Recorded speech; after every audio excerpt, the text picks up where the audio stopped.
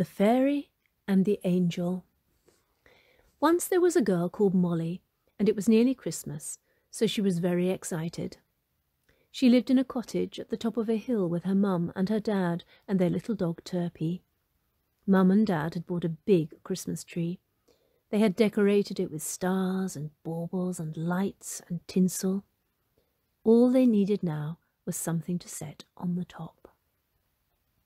Usually at Christmas, the cottage was filled with aunts and uncles and cousins and Molly's grandparents. But this year, sadly, things had to be different. For reasons that Molly did not quite understand, none of her friends or relatives could visit. The Prime Minister, no less, had said so. So it would be just her, her parents, little Turpie, and the wonderful tree. Her grandparents sent their cards and presents, though, and each of them sent a small box marked Urgent, Open Now. Molly was allowed to open the two boxes. In one, there was a beautiful beaming angel with curling hair and dazzling blue eyes. For the top of the tree, a note said. In the other box, there was a beautiful shiny fairy with green skin, black hair, and dazzling brown eyes. For the top of the tree, a note said. Oh no, said Molly to her mum, looking at the two decorations. Which one shall we choose? They're both so pretty. I don't know, Mum said. You decide. I've got to go out and do some panic buying. Oh no, said Molly to her dad. Which one do I choose? They're both so beautiful. I don't know, Dad said. You decide. I've got to go out and set the attic up so that I can work remotely from home. Molly looked at the green fairy and the white angel, but she just couldn't decide which one should go on top of the tree. She set them both beneath the tree and decided that she would make up her mind in the morning, and off she went to bed. In the middle of the night, Molly woke up. She thought she could hear voices, and there was light seeping through the crack beneath her bedroom door. Being a brave girl, she went out on the upstairs landing. Sure enough, there were voices coming from down in the living room. To her amazement, there was some kind of meeting going on. The fairy and the angel were standing in the middle of the floor before the tree, and all the dolls and bears were sitting in a circle, listening and paying attention. It should be me, said the fairy. I'm a tree spirit.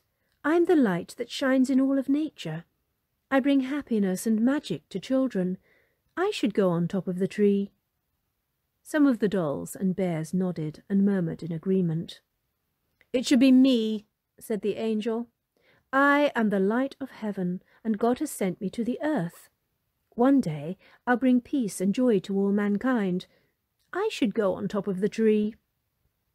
The dolls and bears nodded and murmured and seemed to be discussing the matter. I know, said Grumpy Bear, Molly's battered oldest and most favourite teddy. Let her decide. He nodded toward Molly, who he had spotted sitting at the bottom of the stairs. Yes, come here. You decide, said the angel, who was in fact quite a bossy thing. Yes, please come and choose, pleaded the fairy, whom Molly was taking quite a liking to. If you choose me, said the angel, I'll give you the reward of eternal peace and joy in heaven. Hmm, said Molly. That sounded quite promising. If you choose me, said the fairy, I'm afraid I can only offer you three wishes. She looked down sadly, realizing that the angels seemed the better offer. Now Molly, though young, was quite wise, and was not one to be swayed by appearances. I choose you, she said to the fairy. The fairy beamed and smiled. The angel frowned.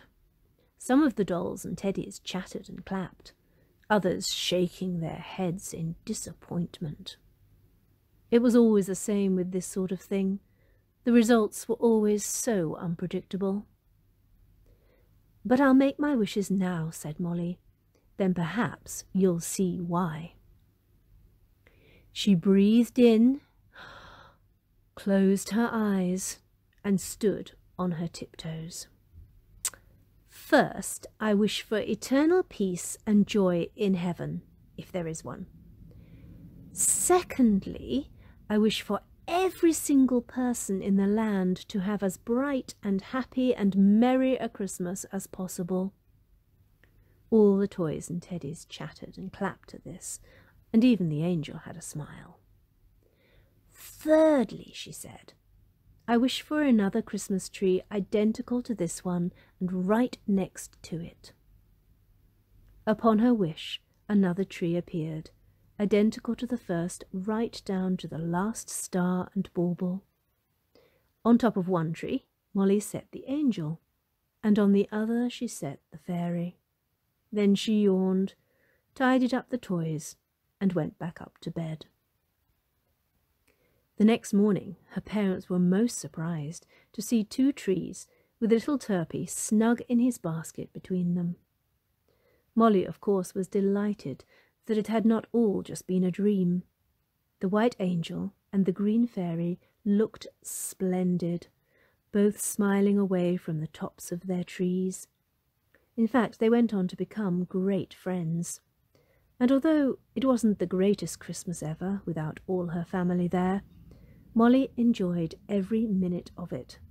She wished and she hoped and she prayed that everybody else would be enjoying their Christmas just as much as she was hers.